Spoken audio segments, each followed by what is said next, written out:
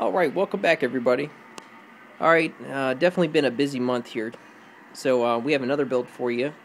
This right here is just a uh, standard straight four pill, Class C.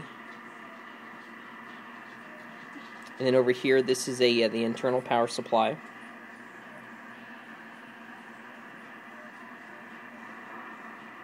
Okay, so this is one of our base amps. This is a four pill base amp altogether. And the way that this guy here is rigged up is just a regular 110 outlet.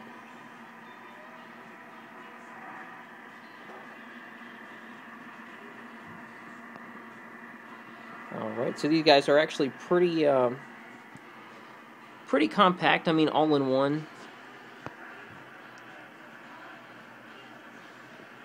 And all of our base amps are either breaker protected or fuse, fuse protected. And as you can see here on the back side, there we go. See if we get in there. That right there is our fuse. So, by any means, if anything ever fails or goes wrong, you don't have to worry about uh, explaining this to your uh, homeowner's insurance. But um, anyhow, it's very basic. Now, you will need a driver for this. Um, technically, you'll get about 400 watts or so just as is off a single final radio. Um, say anywhere between 150 to 200 watt drive. Expect to get at least um, you know anywhere between um, around I say ballpark 1100 watts all the way up to about um, uh, 1350. I see have seen numbers here um, go up about 1400. And uh, basically, it really depends on the power supply. Depends on how uh, built up they are. Um, the power supplies that we use, they actually float around uh, roughly about 15 volts or so. So the voltage on the actual four pill itself is not too bad. And uh, of course, these guys here do come with the four cooling fans. And on this build here, um, as you can see, the regulator is slightly different. And uh, what had happened was, this is my mistake. Um, actually uh, ran out of stock on my 7812s because usually I put a 7812 a regulator on each single fan. So my philosophy is that uh, if you have to substitute, you know, substitute for something that's uh, bigger and better, and that's what we did here. We have um, only had one 7812 in stock, so I took the 7812, um, driving our uh, pass transistor here, which is a 5686 uh, definitely seen in a lot of motor malls or the older style motor malls. So this guy, this regulator circuit right here can actually run, I would say, maybe about three or four sets of these fans with no problems whatsoever. And uh, since it's basically, since this is equivalent to maybe about three amps total, uh, pass transistor does not get hot, so no need for even a heat sink. I mean, this is you know extremely lightweight for light duty for this particular transistor. But anyway, that's just a little background here on the fans. Um, let's go ahead and uh, put the case back on here and give a quick little test run. Uh, the driver I'm going to use for this guy here is uh, the one that we normally use. It's a 11446. And actually, I'm going to turn the uh,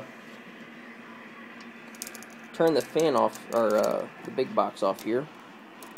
And uh, I'm going to give you an example of what to expect with uh, only 150 watts input. Now, I, I, believe I'm getting anywhere between 150 to 120, but we'll go ahead and uh, give a quick little key here.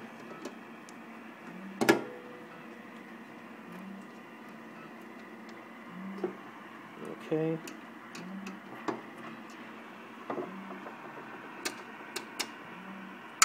Alright. Let's go ahead and turn the box off here.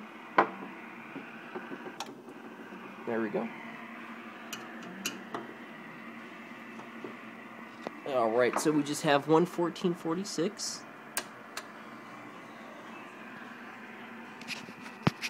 Okay, and then again, um, we always use the uh, single final get it in Washington. Nothing too crazy. Okay, one pill. This is what we're going to be driving into the four pill.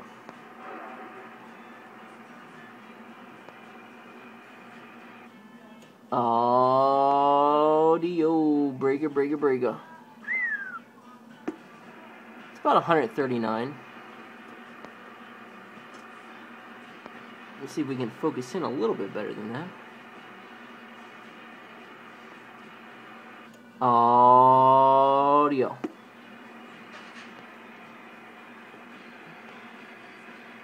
Audio breaker, breaker. All right, 139 exactly. All right. Now let's go ahead and get some uh, good numbers here with the four pill.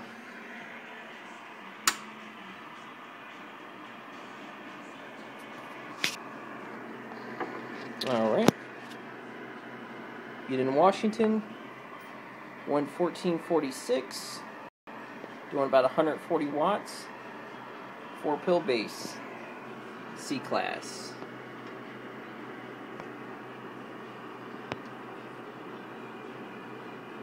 Audio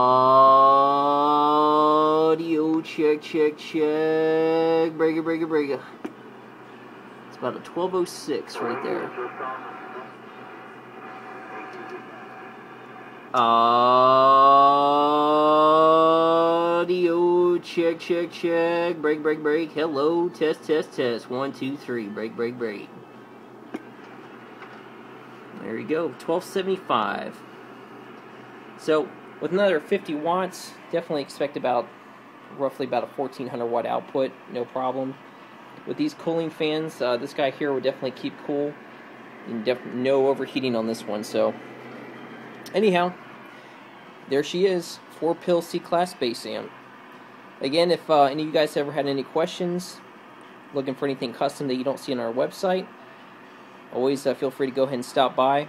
You can email us here at uh, destroyeramps at AOL.com or go ahead and visit our website at destroyeramps.com. All right, 73rds, fellas.